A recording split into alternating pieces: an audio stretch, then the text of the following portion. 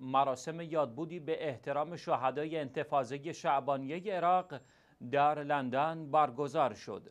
جمعی از شیعیان عراقی مقیم لندن با هدف پاسداشت جانفشانی شهدای انتفاضه شعبانیه سال 1991 میلادی عراق مراسم یادبودی برای شهدای این انتفاضه برگزار کردند.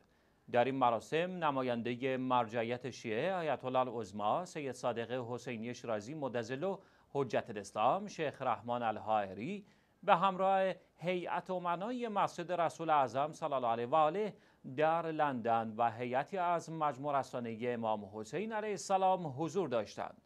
علاوه بر این مراسم شاهد حضور نماینده سفارت عراق در انگلیس و تعدادی از شخصیت دینی و سیاسی لندن بود.